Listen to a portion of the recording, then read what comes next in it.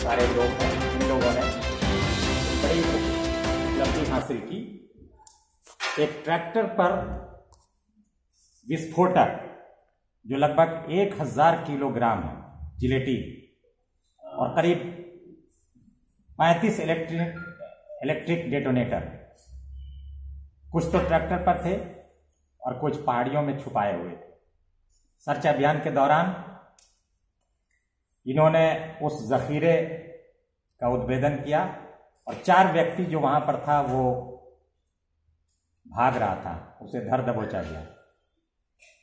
और फिर उनसे जब पूछताछ किया गया कि इसके जो वैध कागजात हैं, कहाँ ले जाया जा रहा है, भंडारण और परिवहन कैसे हो रहा है, न तो उन्होंने कोई संतोषजनक बात बताई और न ही कोई कागजात उपलब्ध कराया थाना प्रभारी ने कांड पंजीकृत किया और विधिवत जब्त किया गया।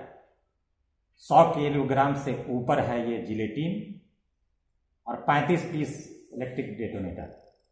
चारों की गिरफ्तारी हो गई है। चारों जो गिरफ़्तार हुए हैं, अजहर हसन, मोहम्मद राजू शाह, सुंदर साहू और राज साहू। आपको ये बताते चलें कि उग्रवाद प्रभावित ये गुमला जिला। और यहाँ पे ऐसे विस्फोटक का अवैध भंडारण और परिवहन जिसके कागजात न हो। आपने पूर्व में भी देखा है कि इसी को उग्रवादी इसका मिसयूज करते हैं और फिर हमारे जाबाज जवानों के विरुद्ध इसे इस्तेमाल करते हैं और एक बहुत बड़ी क्षति की संभावना ये भी बनती है। और इस संभावना और प्लस इस कांड में और कौन कौन संलिप्त है?